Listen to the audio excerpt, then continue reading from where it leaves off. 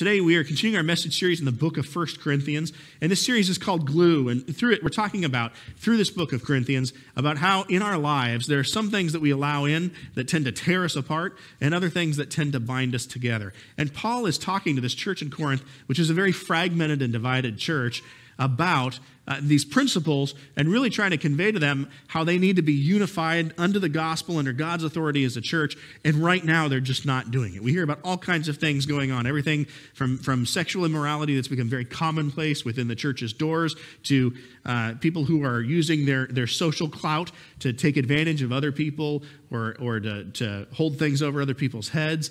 Uh, there are people who are, who are stepping out and being narcissistic and focusing on themselves, and they're not really focused on the things of God, but on the things of this world instead. And so Paul has been, after, chapter after chapter, pointing a lot of this out and drawing attention to it. And today we're going to have one of the more controversial sections. It's also one of the longer sections, but I'll, we'll make a we'll, we'll go at it at a good clip here.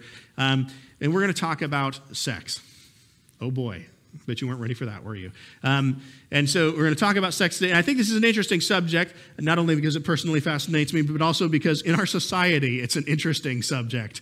Um, it, it's fascinating to see. There was an era in which the, in the United States, most of our mores in this area would have largely followed Judeo Christian values. But I don't know if you guys have noticed, but as of late, there has been a lot of controversy in our society about sex, about uh, when it's acceptable, when it's not, when marriage should happen, when it shouldn't. And there's all of these different ideas out there. And our society is so muddled and confused on it that often they don't even seem to know what the difference between a man and a woman is. There's, there's this constant confusion about what defines one, what defines another. And as believers, as we walk through this, it's fascinating because that was a, there was a lot of that happening in Corinth as well.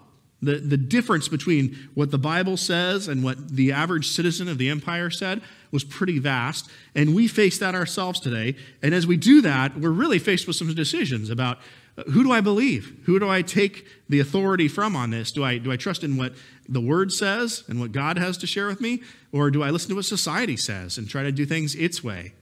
Now, I'll mention for the people in Corinth, this, this was an especially tricky subject because Christians were a very small minority in Corinth, nowhere near the majority of the population. And within this, this uh, pagan Greek society, there on the Greek isthmus, but under Roman control, there were all kinds of pagan gods that were regularly worshiped, and sex was actually incorporated into a lot of that. So we talked in these last few weeks about how there were different pagan temples. Um, that would have been there in the ancient world. In fact, just one of them on its own had over a thousand temple prostitutes that served at it right there in Corinth. And so, for the average citizen, if you worshiped all of these different pagan deities, you didn't just believe in one god, but you believed in hundreds of gods. And so, one of those gods was supposed to help your fields grow. And so, for example, and so if you wanted to actually increase your crops that year, you were worried about drought or something like that, then as a devout practicing pagan, you would go to that temple and you would pay money uh, to either have heterosexual or homosexual sex, it depended on which, with one of the temple prostitutes, and that would be your form of worship. Now imagine if you grew up in that, you know, if your dad, when you when you became a man, said, All right, son, come on, it's time to go down to the temple and for you to sleep with one of the temple prostitutes. Just how upside down would that make your morality? Just how hard would it be to break that tradition? You grew up with this. This was a normal thing. And in Roman society, the rules around sex were much more lax. It was not only common, but it was often expected that men would be unfaithful to their spouses, that they would have affairs. And so you could imagine that if you became a Christian and this is what you lived for years, you have a lot of habits here you suddenly need to break, right? There's a lot of things that need to look different. And that's not an easy thing to do. So, Paul is writing today, and we'll see in the first verse as we start, he is writing in response to, uh, to a letter that he's been sent by the Corinthians. Chronologically, we know that Paul sent them a letter as he started to hear about all of the issues in the church. And it sounds like maybe they had some confusion about that when they heard it. Uh, probably because he's saying some of the things he's saying today, but didn't elaborate on them quite as much. And so they, in response, wrote another letter to him with a bunch of questions. And today, Paul is going to take a minute to try to answer a ton of those questions related to relationships and sex and when do we get married and when do we not and when should I stay married and when shouldn't I and on down the list.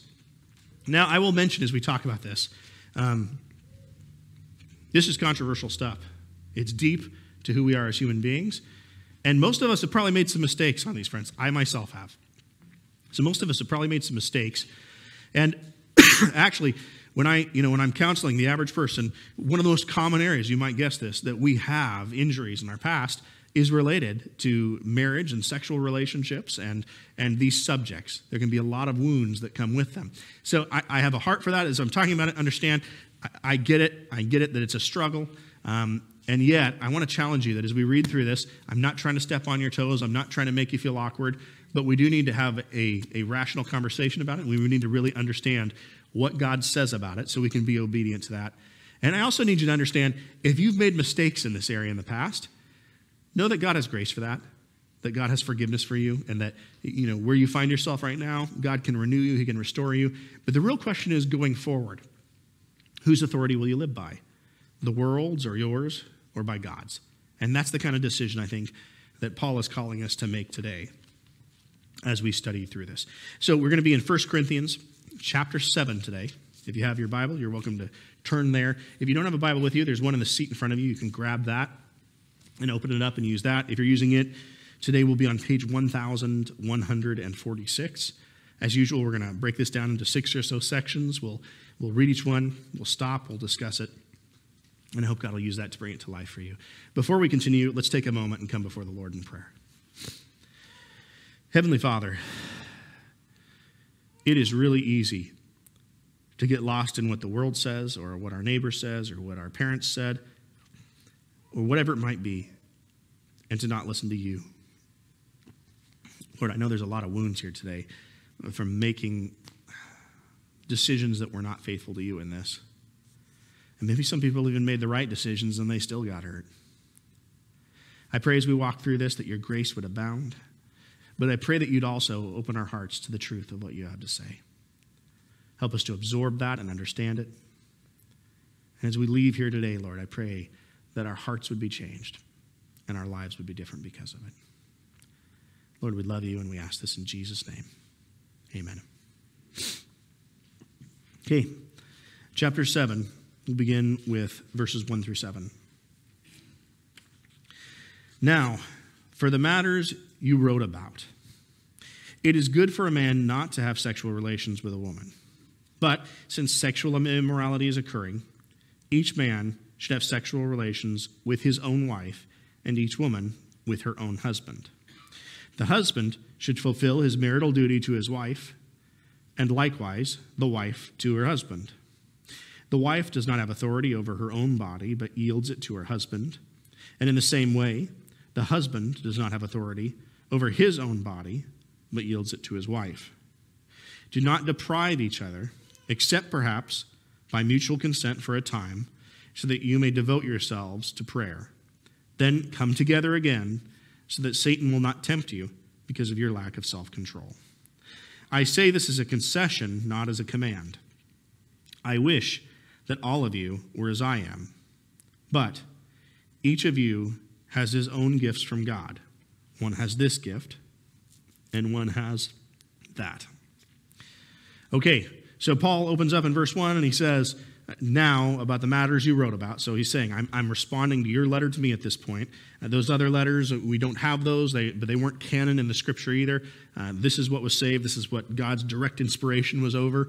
And so this is what's lived on to be part of our scripture. We can speculate some of these decisions that people are making. His opening comment it's good for a man not to have sexual relations with a woman. Um, and Paul, we're going to see this juxtaposed idea as we go through it. Paul is going to say, in effect, I'm going to kind of spoil the ending for you. Paul's going to say, in effect, it's if you would live on mission for the kingdom first and foremost, then it would actually be better to be single as you did that. So uh, here's an example. If God told you, guess what? You have just been called, and God wants you to be a missionary to Iran. Well, if you're not aware, Iran is a very hostile place towards Christianity. Uh, Christians are killed there every year simply because they believe in Christ. If you're vocal about it, that is a capital offense in Iran. So just simply going and telling your neighbor about who Jesus is, you could get killed for that. If God told you to do that, as a single person, it would be easier to navigate that situation. You can imagine if you were married and you had children and they went over into this deathly dangerous place with you, your mind would be split between, all right, how do I keep, keep my wife and kids safe, or how do I keep my husband and kids safe? How do I fulfill this calling while I do this? And Paul points out here if you're living on mission for Jesus, then actually being single has its advantages. And he'll elaborate more on that in the time ahead. But Paul recognizes that's not what all of us can do. And so uh, as we read this, we're going to see it's not you have a good option and a bad option, but it's you have a good option and a better option, and either one is fine. So Paul knows that not everybody's going to be able to do that, or many people are already in a position where they're not able to do that, or they're already married, so that's, that's removed. Um, so he continues in verse 1 It's good um, for a man not to have sexual relations with a woman, but since sexual immorality is occurring, each man should have relations with his wife. And Paul, as he continues, he talks about husbands should allow themselves uh, to be, their, their, bodies are not their own. They're sharing them with their spouse. And wives, similarly, their bodies are not their own. They're sharing them with their spouse. And uh, this really harkens back to what we talked about in Genesis 2 last week this idea of when two people get married, the two become one flesh. They're joined together on this deep level. Uh, and, and, with that, uh, they're able to fulfill these needs to each other. Now, Paul is saying you guys shouldn't deny each other those sexual privileges inside marriage. Now he says your bodies are are belong to each other. One of the distinctions of that is that means they can't belong to you and to Dionysus. You can't go to her temple and worship her with your body and also have it be your spouse's. Your, your allegiances are split here. So you actually have your spouse has a say in that, and under a godly relationship, it's not going to be a swingers situation. It's going to be you two dedicated to each other. And yet, at the same time, Paul acknowledges if you're married, it's good for you to have sexual intimacy within that. And so he encourages us, you know, however possible, try to meet the needs of your spouse when you're able to. Now, let's put some obvious bounds on this. You know, if, if your spouse, for example, just gave birth to your first child, hey, maybe you need to take a pass for a day or two, cool your jets a little bit. Or if your spouse is really sick, okay, yes, there's some obvious, sensible boundaries here. You know, uh, give them time to recover. Um, but generally speaking, if you're able to meet the other person's needs, you should do what you can to do so. And Paul points out you're doing this in part because if you don't, then it actually gives some grounds to Satan to cause some temptation. Once we get used to having sexual intimacy, it's very hard to just cut it off. And so, if you go months without having any, any physical contact with your spouse, that is going to open up your mind to a lot of thoughts that might not have been there before. It's intriguing because uh, as people, particularly people who have cohabitated before they're married, um, which is not an uncommon thing, it, the dynamics of it are very different. When you're dating, you can use sex as a negotiating tool. You can say, you know what, you didn't do what I wanted, and so we're not going to be intimate as a result of this. Um, in marriage, not so much. It's not supposed to be a negotiating thing like that. It's a, it's a base level right. That creates some real interesting challenges for coping mechanisms if you started out living together prior to being married, because those expectations actually shift a fair amount. Paul is saying here, do your best to meet those needs within, uh, within marriage. This is part of God's intention for it, that it'll do that uh, and, and, you know, as a result of that, I think, you know, for the married people here today, if you want some homework, I think a piece of advice I've given once before of sometimes the most spiritual thing you can do is go home, take off your clothes, hug your spouse, and see where things go. Um, that could be a good piece of advice for today. Um, not as many chuckles as I expected. That's okay. You'll thank me later, guys. Um, so, be, be the, have this dedication to each other. Understand that you're not entirely your own. You're in this covenant with the other person and uh, you need to watch out for their needs. Paul says in verse 5 do not deprive each other except perhaps by mutual consent for a time. So his only the only reason Paul could see uh, as he's writing under God's inspiration here for why you might say, you know what, we're not going to have sex for a couple of days is we're dedicating those days to prayer and fasting and we're going to focus entirely on God. And because of that, we mutually agree, not one of you decided the other person agreed, but you mutually agree that you're going to forego that while you focus on God. But even then, he says, uh, then come together again so that Satan will not tempt you because of your lack of self control. So he just he acknowledges that most of us have a struggle with a lack of self control in this area. And so uh, having that marital union is the appropriate outlet for those sexual desires, and that's where it should be. Um, um, then he says in verse 6, this is where it gets a little confusing, but he'll hash this out more.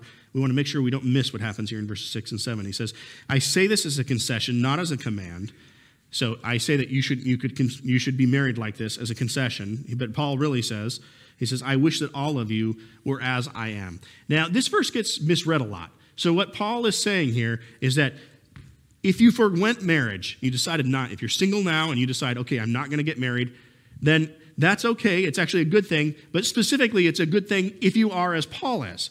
So if you decide, I want to stay single because I want to go build a multi billion dollar business and I don't want anything to get in the way of that, That's not a virtuous reason to not do it. Now, maybe if that's where your mind is, you're not ready to get married. There's an argument to be made there. But the idea isn't forego marriage so that you can build your own empire. The idea is if you're going to forego marriage, forego marriage so you can live on mission for Christ. And Paul is doing this throughout his life. Ever since he came to Christ, he has been on mission. He's been single the whole time. And so he's saying, if you'll do it the way I'm doing it, and you'll go out there and you'll go to these dangerous places, Paul has been beaten, he's been stoned, he's been shipwrecked, and ultimately, Paul will be beheaded by the Roman government because of his Christian faith. He is walking into dangerous places and he is telling people about Jesus. And if you make the decision to do that, then being single can have its advantages in that. Your, your, your allegiances aren't spread between two things. You can solely focus on the gospel. And Paul's saying that would be a better way to go. So he wants us to pray about that. Is this what, if you're single, is this what God wants you to do? Does he want you to, to go on mission like this?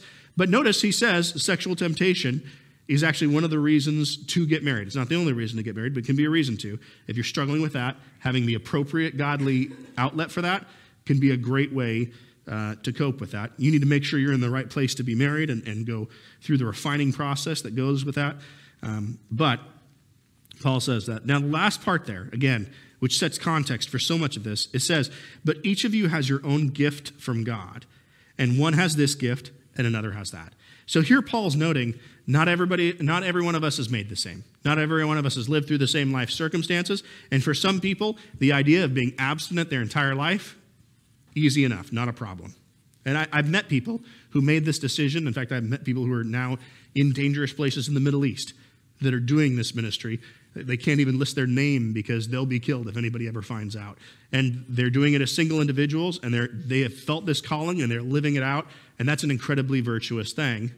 Paul says some of you have that gift, and some of you have this strong sexual desire. And again, marriage is the appropriate outlet for that. That's, that's a good reason for you to get your life squared away, to try to become the person that a good person would want to marry, and with a godly perspective, to actually pursue that but not all of us are in the exact same position. And to be clear, if you're here today and you're single and you're weighing this out, my encouragement to you is pray about it, fast about it, and really ask God what He wants you to do. Ask Him for His direction in it. But if you are having regular struggles with temptation in that way, that's probably a sign of sorts. That may be a good indicator that actually marriage is a wise decision, not simply based on that, but, but as a factor to consider. Okay, let's continue on with verses 8 through 11. Now, the unmarried and the widows, I say, it is good for them to stay unmarried, as I do. But if they cannot control themselves, they should marry, for it is better to marry than to burn with passion. To the married, I give this command, not I, but the Lord. A wife must not separate from her husband, but if she does, she must remain unmarried or else be reconciled to her husband, and a husband must not divorce his, his wife. So, two different things here. The second one's probably the more controversial one. We'll get to that in a second.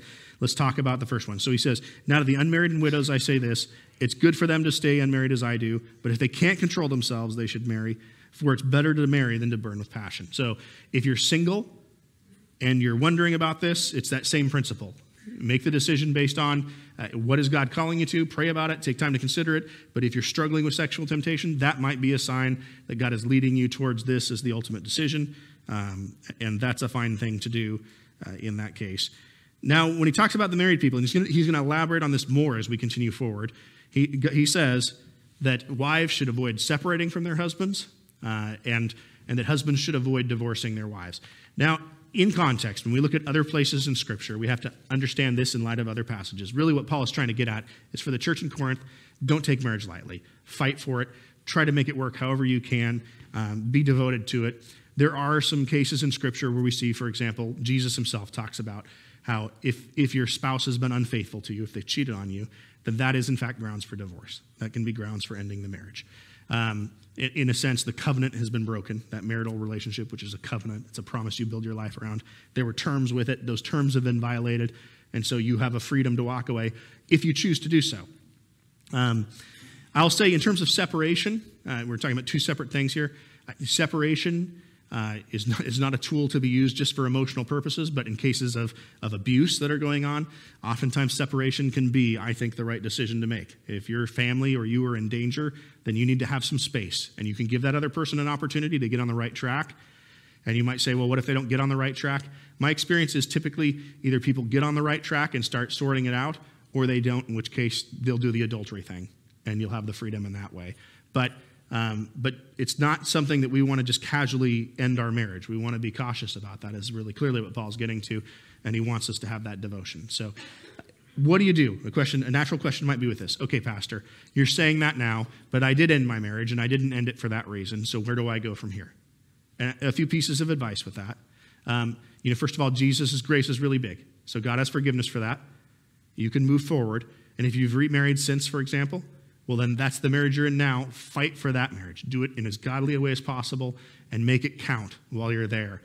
God will forgive what's happened in the past, but if we don't want to get in a cycle where we keep repeating all our past mistakes, part of what we have to realize is where we've deviated from God's will.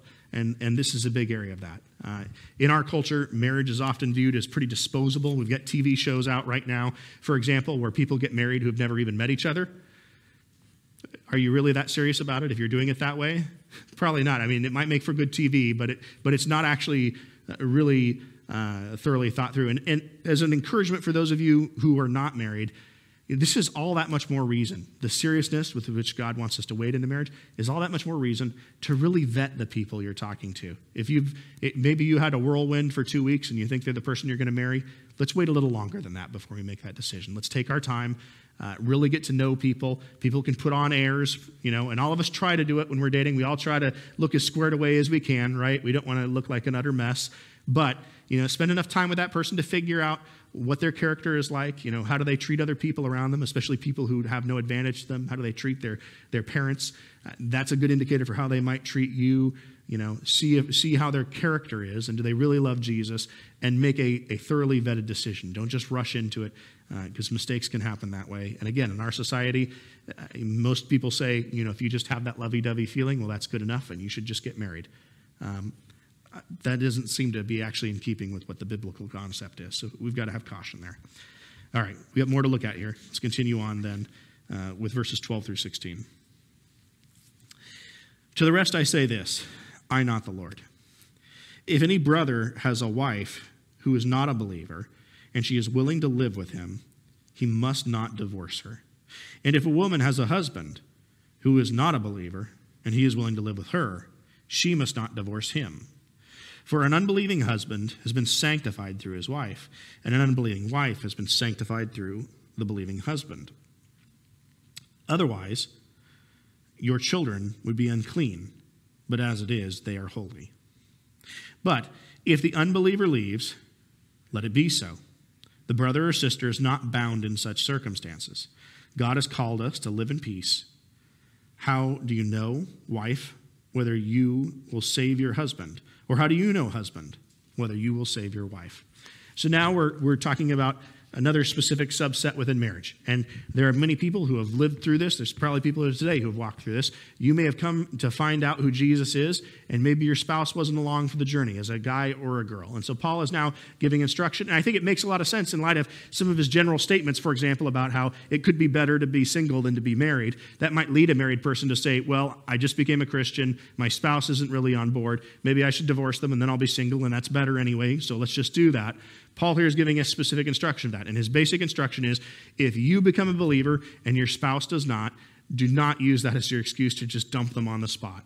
Actually, try your best, and you may be in that position for a while, uh, but prayerfully work. Do not nag them to death, but, but try to live out God's values and show his light to them, uh, be an encouragement to them, show them kindness and love. And the hope is in the long run that they might come to the Lord. But to throw the scenario the other way, imagine for a moment that you are actually uh, that you are actually married to somebody. And suppose that you were married and then your spouse became a believer. How would you feel if your spouse came up to you, you know, day one and said, Hey, by the way, I went to this church today. I became a Christian. Oh, and we're going to have to get divorced now. That make you think, like, I like this Christianity thing. Well, maybe if your marriage has been going really badly, you might think it, but, but generally speaking, most of us would not be excited about that. And sadly, I can say, as a pastor, I've actually met people who have told me that their spouse has gone and had that experience and come back and specifically ended the relationship because of it. And I'll tell you, the people who I've spoken to, they were, to say they were happy about it was not the specific nature of it. They were very hurt. And that's not at all what Paul is saying here. Obviously, when you read the Bible, it's saying the opposite. If you can salvage the relationship, do it, you know? And yes, you're going to be unevenly yoked, and yes, there's going to be some differences in your pursuits, but love that person deeply. And Paul points out maybe through that, through you representing Christ in their life and, and having that sacrificial love for them, maybe that will be the very thing that God uses to draw them into obedience to him. But it's certainly a lot more likely that that will work than you taking the opposite approach and saying, hey, I'm a Christian now, so I'm done with you. That definitely is going to leave some scars and not make the person think, I like Christianity. This is good. Um, Paul says, though, in closing of that section, if you're married, if you're in that position, and the other person sees you and they see the change in your character, and you know, we can imagine the Corinthian context, they're saying, Hey, let's go ahead and go have sex at the temple with the prostitutes. And you say, Yeah, I'm a Christian now, I can't do that. And they say, Okay, well, I'm done with you then. In that case, Paul says, you know, you're morally in the clear. That's not something you can control. If they decide to leave you based on your devotion to Jesus, then so be it. That's their call. Uh, but God, God is not going to hold that against you. You're not at fault for it. Uh, accept the way it is, and, and from there you can move on and you can choose to enter into a new relationship uh, if that's what God leads you towards. Okay, let's continue on with uh, 12, or excuse me, with uh, 17, with verse 17. Nevertheless, each person should live as a believer in whatever situation the Lord has assigned them, just as God has called them. This is the rule I lay down in all the churches. Was a man already circumcised when he was called? He should not become uncircumcised. Was a man uncircumcised when he was called? He should not be circumcised. Circumcision is nothing, and uncircumcision is nothing. Keeping God's commands is what counts. Each person should remain in the situation they were in when God called them. Were you a slave when you were called? Well, don't let it trouble you. Although, if you can gain your freedom, do so. For the one who was a slave, when called to faith in the Lord, is the Lord's freed person. Similarly, the one who was free when called is, is Christ's slave. You were bought at a price. Do not become human slave. Do not become slaves of human beings. Brothers and sisters, each person, as responsible to God, should remain in the situation they were in when God called them. So now he's addressing two issues, and these have an implication for what we just talked about. We just talked about how if you're married and you can stay married, then do that. If you're already single, then consider staying single unless the, the sexual temptation is there to a point where it's time for you to work on that and look towards marriage. But generally speaking, you stay the way you are. And Paul's building on that to say, hey, there's other areas. This principle, I've carried this through consistently. And first, he talks about circumcision. And circumcision, um, the surgical removal of the foreskin on the male reproductive organ. Uh, it, is, it was a practice that was common as a, uh, as a way of entering or showing that you were a part of the Jewish faith. Most believers, certainly for the first decade of the church, were almost exclusively Jewish people. So, for the early years of Christianity, basically all Christians were circumcised. And we see in the book of Acts, there becomes a controversy once Gentiles start coming in, once non Jewish people start coming in and becoming Christians. Then there's this question of, well, do they have to follow the Jewish law and do that step? Uh, which typically would have been done in their childhood, within their first couple weeks of life, or, or are they free from that? And Paul has been very consistent in this. He said, you know, if you came to Christ and you weren't circumcised, great, stay that way. And if you came to Christ and you were circumcised, great, stay that way. That's exactly what you should do. Now, some of you may be scratching your head and saying, Pastor, I don't think you can be uncircumcised. That, I don't think that's an option. Um, and I'll tell you, as morbid as this might sound, there is actually a, precedence for it. If you read uh, in, in uh, the apocryphal books of First and Second Maccabees, which are historical books. They're not part of the Bible, but they have some interesting history in them. You'll read about the Greek Peloponnesian Wars and how the Greek, the Greek nation under Alexander the Great came and conquered Jerusalem and all the area around it. And the Jewish people were trying to gain their liberty from that. Judas Maccabeus is the, is the main character in it, and you can read about his struggle uh, trying, to, trying to get rid of the Greek government. But as part of the spread of Hellenism, of the Greek culture, there were some things that happened universally. Everybody had to learn the Greek language. That's significant because it actually opens things up for missionaries uh, to be able to spread across the world and all have a common language. And then also, uh, everybody had to switch to the Greek currency. That's a new thing, but no more currency exchange in that way. And then finally, another big thing is anywhere they went in a major city like Jerusalem, and this did happen in Jerusalem, they would set up an area for things like the Olympic Games. They would have an arena where there would be athletic challenges that happened, and any able bodied man was expected to be a part of this.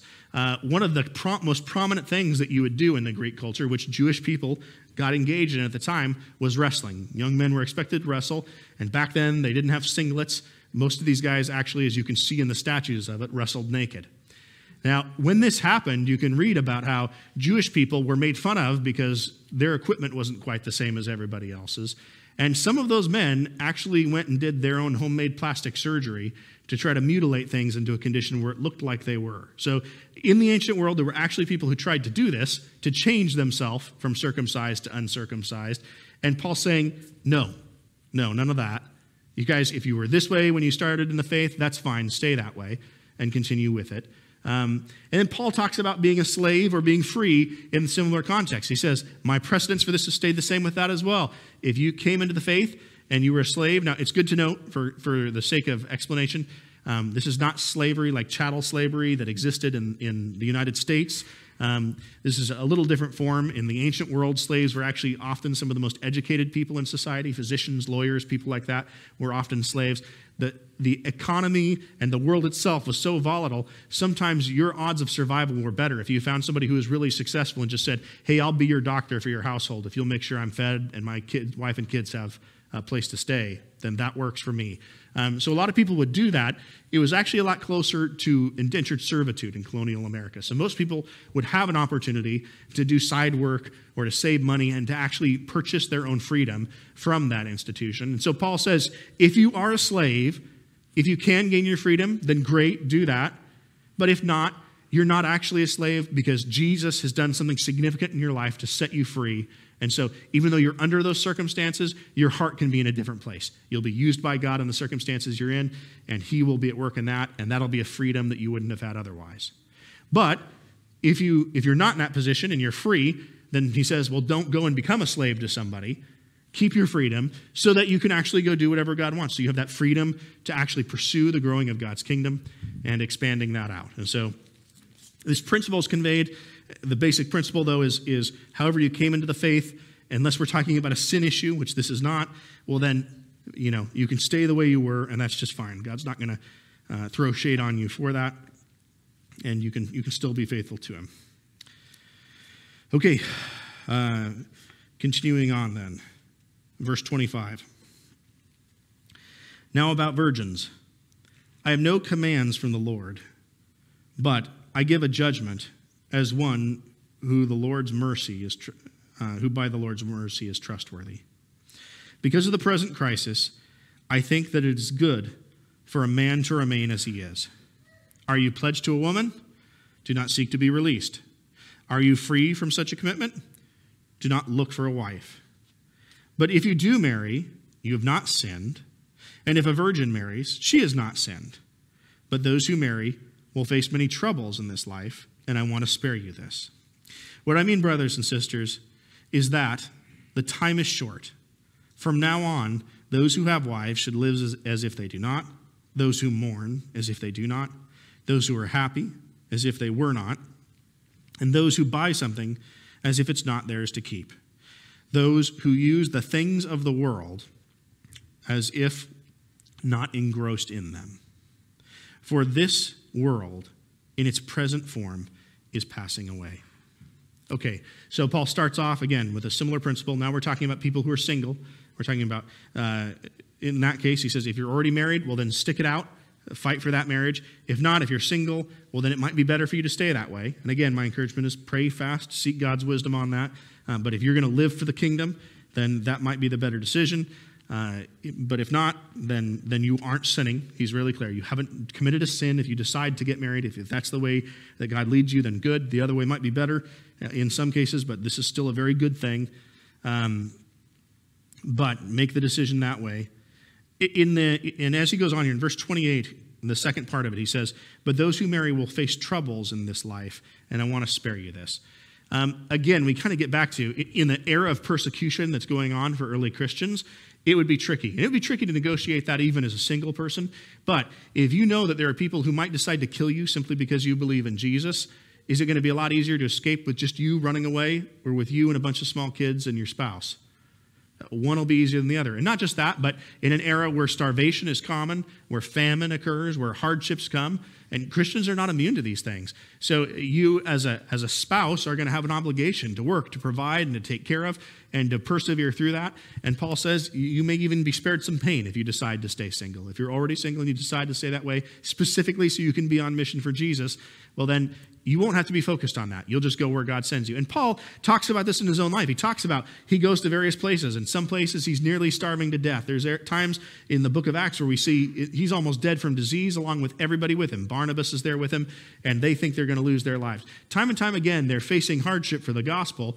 And Paul's pointing out that the math on this just gets simpler if you're signal. So if you're going to live for the kingdom first, consider it. And again, we can take what he said before into consideration. If, you're, if, if the sexual desire is there in such a strong way, well, then get married. That's good. Do that. That's a good thing, too. Um, verse 29 onward is pretty confusing when you read it. It almost makes it think, seem, seem at a glance like he's saying, well, if you're married, just pretend like you're not, you know? Just, just ignore your wife and pretend like they're not there. That's not what he's saying. Paul's pointing out that if you're living on mission for the kingdom, that oftentimes you're going to be in this place where whatever place you find yourself, you have to try to push yourself towards another one. So, so you're in the kingdom and you're married, but if you're really on mission for God, then there's going to be times where you feel this push pull of, am I spending enough time with my wife? Am I spending enough time with my kids? Am I balancing that well? I know I'm called to go share the gospel over here and to go and serve at the church in this way. And so how am I, how am I balancing that? Well, you're going to have to live with an eye on both with an eye on your family, being faithful and fulfilling the commitments that God has given you, and also with, with an eye on the calling that God's given and the church that you're led to and the ways that you're supposed to be serving. Your eyes will be fixed on both, and, and you'll have to work through that. And you may have times where you're sad and where you're really struggling, and God's going to call you, in light of your pursuit of the gospel, to work to focus on being happy and to try to turn that around. And there's going to be times where you're really happy and things are going well, but other people in your life are going to be going through hard stuff, and you're going to take a step down in how you feel. Really, he's pointing out the things of this world are going to pass away, and so focus first on the gospel and that. Still fulfill your commitments. Uh, and I'll point out, uh, this is probably apparent, but uh, in the ancient world, there was no such thing as birth control. So if you were married, uh, not only would you, would you um, obviously have a spouse, but then also for most people who are biologically capable, they'd have children, and probably, at least if they fulfill what Paul said at the beginning of this and don't deny each other sex whenever the other person wanted it, you probably have a bunch of kids on top of that. So that's a pretty big commitment that you'd have there, uh, and there's a lot of pull to it. But you have to try to find this balance between being faithful to, to your family that God has called you to, and then also being faithful to the kingdom at the same time. Uh, and that dichotomy is going to be there, but God can help you find balance in that. Okay, verses 32 through 40. Let's finish this out. I would like you to be free from concern. An unmarried man is concerned about the Lord's affairs. How can he please the Lord? But a married man is concerned about the affairs of this world. How can he please his wife? And his interests are divided. Unmarried woman or a virgin is concerned about the Lord's affairs. Her aim is to be devoted to the Lord in body and spirit. But a married woman is concerned with the affairs of this world, how she can please her husband. I am saying this for your own good, not to restrict you, but that you may live in the right way in undivided devotion to the Lord. If anyone's worried that he might not be acting honorably towards the virgin he's engaged to, and if his passions are too strong and he feels he ought to marry, he should do as he wants. He is not sinning. They should get married. But the man who has settled the matter in his own mind, who is under no compulsion, but has control over his own will, and who has made up his mind not to marry the virgin, this man also does the right thing. So then, he who marries the virgin does right, but he who does not marry her does better. A woman is bound to her husband as long as she lives, but if her husband dies, she is free to marry anyone she wishes, but he must belong to the Lord. In my judgment, she is happier if she stays as she is, and I think that I too have the Spirit of God. Okay, so a few things there. In verse 32, he's really expanding on what we read before this idea of singleness does have a gift if you're focused on the kingdom. It does have a gift. You have a singular purpose, and there's clarity to that, and there's an ease with that. But again, if you're married or, or if you're feeling God's calling to be married, then go do that. You haven't sinned. It's a good thing, uh, and, and embrace that. God made marriage, just to be clear here, we often think about this, I think, as we read it, we misread it as, oh, God won't like me if I'm married, but he will like me if I'm single. That's not what's going on here. And by the way, if you're single and you're not living for the kingdom, then you're doing no better anyway. Um, but, but really, he's saying there's two good options, but I want you to weigh it out because if you're being led towards that missionary lifestyle, where you can really be on fire for Jesus and totally devoted to that, there's advantages to it. Then he talks about engagement. In verse 36, he starts covering that. If anyone's worried that he might not be acting honorably towards a virgin he's engaged to, and his passions are strong, and he feels he ought to marry, he should do as he wants. He's not sinning. So the idea here is he knows there's people he's writing to in Corinth. It's a big city, it's a big church. If you're engaged right now, and you feel like, hey, this is the right thing to do, I have these desires, and I think this is going to help fulfill those desires in a godly way, then do that. That's fine. And then he gives the counterpoint of, but if you're there and maybe you're engaged, but you're starting to realize, you know what, I hear what Paul says, and I'm realizing I don't really have those strong desires, and I do really just want to be on mission first and foremost, well, then that's a better thing even yet. That's fine. Go ahead and do that too. The last paragraph gives some instruction, and again, we touch on some controversial stuff. A woman is bound to her husband as long as he lives, but if her husband dies, she's free to marry anyone she wishes. So we've already talked about separation uh, or divorce and context for that, that, that infidelity is what Jesus lists as the criteria for that. Now we're talking about a different thing. We're talking about widowhood. It is interesting, uh, I'll point out in Timothy and Titus, when they talk about, they, they specifically say if a younger woman uh, is widowed, uh, that it actually might be better for, for her to remarry. And then basically he says because she might become a busybody, which I thought was, was an interesting assertion. Might get really gossipy and divide people, and, and maybe it'd be better to just focus on a spouse and family. Um, and, and, you can use that to supplement this in a sense. But, um, but what he's saying here is if you've done that and you decide to stay single, then that's great. Uh, God will bless that. And if you decide to remarry, that's okay. But we've got to make sure we read all of that. Uh, last part of verse 39, he says, uh, but he must belong to the Lord. And really, what he's getting at here is if you're a widow and you're looking to remarry, or, or, we can even add to this a similar emotional experience, if you've just been through a divorce and you're deciding to remarry, then make sure whoever you are looking at is really committed to Jesus. Follow through with that. Uh, all of the criteria the Bible lays out for that. Pursue the relationship in a godly way and, and actually find out, thoroughly vet this person and see that they're there and that that's where their heart is. I'll tell you guys, as I walk through with people who go through these experiences, this is a really heavy burden when we talk about being widowed, uh, we talk about having ha- having dealt with a divorce. And there's three pieces of advice I typically get to anybody who goes through that. I want to give this today in case somebody online or with us in person has recently dealt with it. My three key pieces of advice, if you've walked through this, it's a big trauma, and it's not something that 10 minutes later you just get over. It takes time to heal from the injuries that this has, and because of that, I'd encourage you to avoid making any major financial decisions after something like this happens. If it's either case with widowhood or divorce, you know, you might not be able to run the ranch on your own, for example, so you might have to actually make a decision that way. But to the best of your ability, avoid making those major financial decisions when your heart's broken and you're reeling and you're not sure which way is up. That's not the best time to make a decision that affects the rest of your life financially. So give it some time, give it a year for that. My second piece of advice is avoid drugs and alcohol entirely during that one year time frame just commit to at least do that.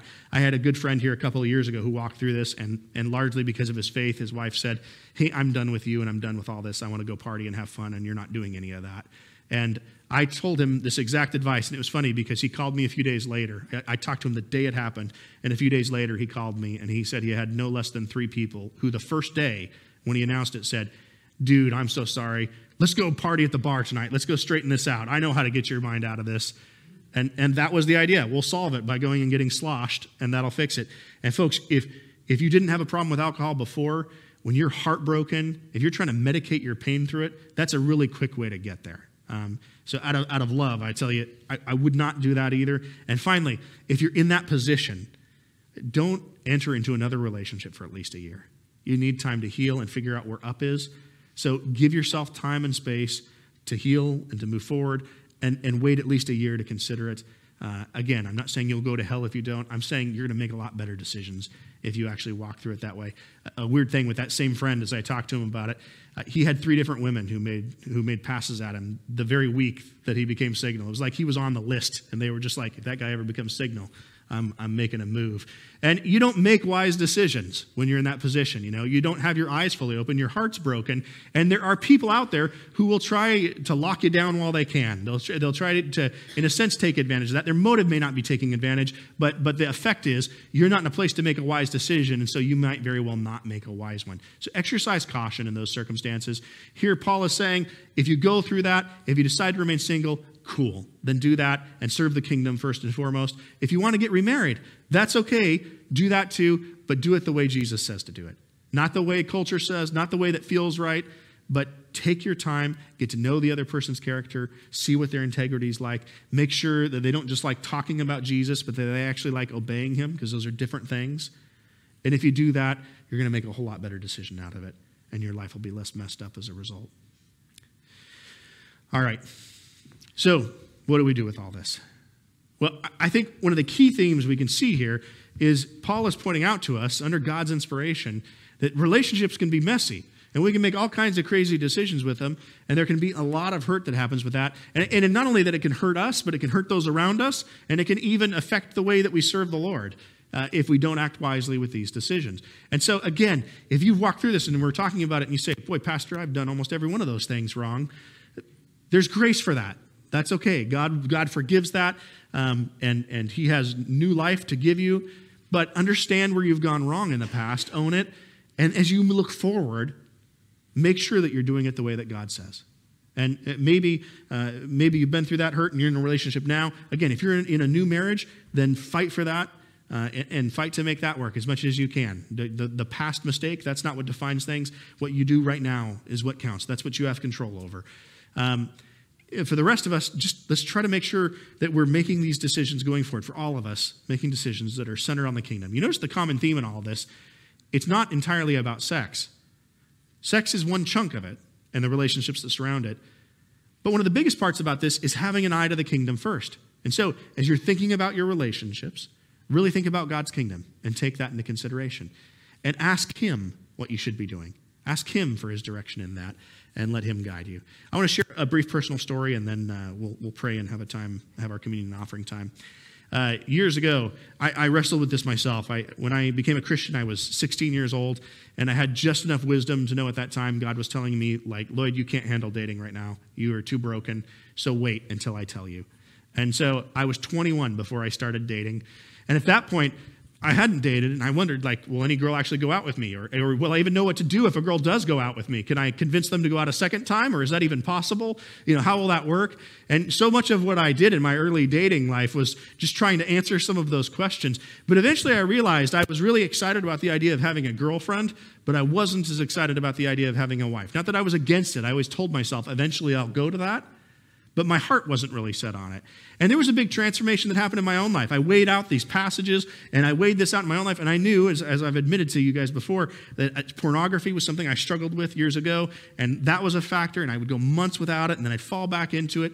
And, and so I knew I did struggle with some of those temptations. And one day uh, in the summer, I, I, about a month before school started, I'd just done an internship down in New Mexico. And I prayed to God and I basically said, Lord, I've been looking for a girlfriend a long time and I really would love to have a wife. If you would lead me the right person that I could have as a wife to build a life with, that would be a huge blessing. And I think that God, in a lot of ways, was waiting for me to come to that point. And interestingly, my wife had recently, my now wife, who wasn't my wife then, uh, had recently come to some epiphanies of her own. She'd had this cake shop she was supposed to be taking over uh, as a business. She was supposed to be owning it. And about the time I said this prayer, all of that fell apart. And in desperation, she just said, Lord, whatever you want next, I'm, uh, I'm in for it. If she'd only known what she was signing up for. But, um, but it worked out for me at least. Um, so that, you know, that, that week, the next week, the first day in Greek class, I met her. Uh, we went out on a date that week, and I, I figured out pretty quickly unless there's something here I'm missing, this is it. I'm going to marry this girl. And, and nine months later, that's where we went. Uh, we became married, and it's been one of the best decisions I've made in my entire life. I point that out to say, though, I think one of the things God was waiting for was for me to not just be in pursuit of his kingdom, which I was doing. I'd been doing street evangelism and all kinds of things like that. But he was waiting for me, too, to have a heart that was ready for that.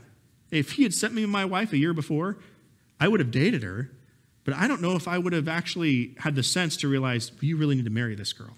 And would that have helped the relationship work or would it not have? You know, that probably would have sabotaged it.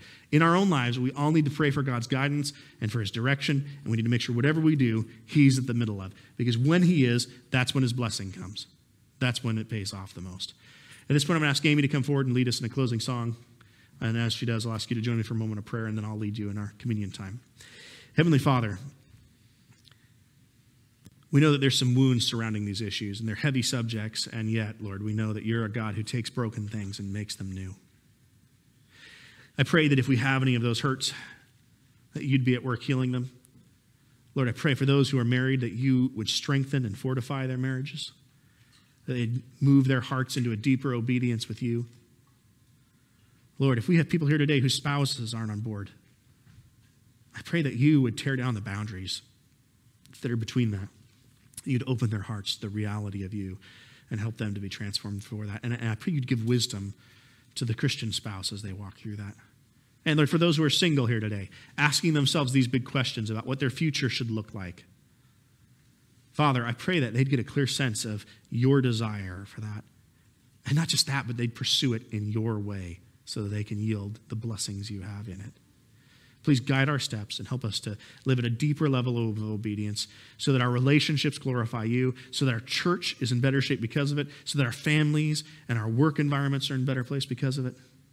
Glue us together in your will. I ask in Christ's name, Lord. Amen.